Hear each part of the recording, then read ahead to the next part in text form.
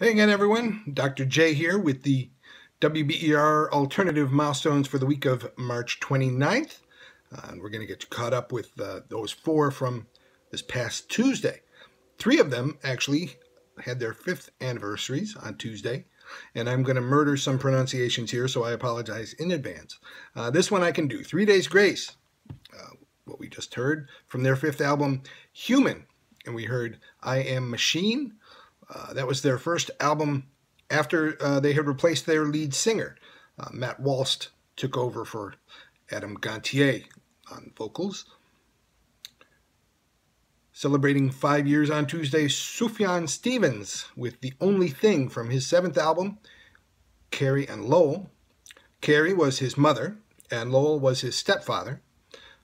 And his mother had suffered from depression and schizophrenia and substance abuse she actually had abandoned him when he was about a year old. Uh, she died in 2012, and this album was his way of kind of dealing with that and getting closure uh, from that whole thing.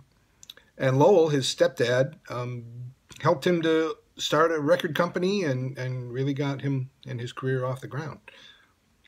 The third album, celebrating five years on Tuesday, was Kintsugi from Death Cab for Cutie, their ninth album and we heard Black Sun from that album. And kintsugi, this was interesting to me, uh, is a type of Japanese uh, art involving fixing broken pottery. Uh, the philosophy is that breaking is actually part of the life cycle, and it is an art form to repair it, and the goal is not to make it look new again you're not trying to hide the history. You're celebrating the history and the, and the life cycle of whatever it is that you're fixing. So you're not trying to disguise it. So I, I thought that was kind of an interesting philosophy.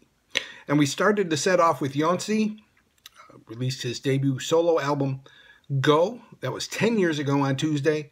And we heard Boy Lily Lilikoi, which ended up the year at number 54 in the WBER um, listener year and countdown for 2010. Um, and if you don't know, lilikoi is the Hawaiian name for passion fruit. I do kind of celebrate anything Hawaiian that I can. So, um, let's see. We're going to start Wednesday's milestones with Afghan Whigs here on the only YouTube channel that